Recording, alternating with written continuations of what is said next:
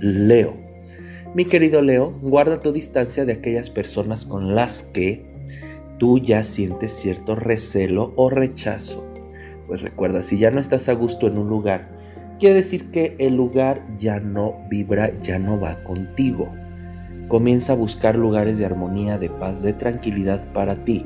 Esto te va a ayudar también incluso a concentrarte y a canalizar mejor tus sentidos, tus intuiciones. Déjate guiar por ellas principalmente. Pronto vas a encontrar esas respuestas que tanto buscabas.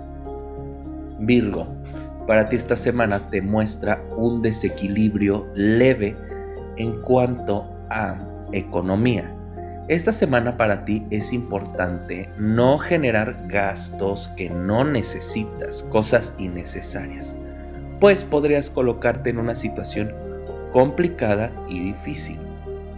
Para ti, esta semana también te indica que debes de tener demasiado cuidado a la hora de una comunicación en pareja, pues cualquier palabra mal dicha puede llevar a peleas y a muy muy malos entendidos. Así que aguas. Libra, para ti que has estado batallando en temas de salud en estos días, mi querido Libra, en esta semana te indica que vienen buenas respuestas, pero estas respuestas deben de venir acompañadas de cuidados y de atenciones. Es decir, que no debes descartar tus cuidados y el apapacharte. También en esta semana te habla de que podrías tener unos pequeños enfrentamientos o roces con personas de tu entorno, principalmente en el entorno laboral. Trata de reaccionar de la manera más calmada y más tranquila. Escorpio. Mi querido Escorpio, para ti en esta semana te indica, bien, cambios abruptos e importantes en el camino laboral. Estos cambios son positivos, sin embargo, son fuertes.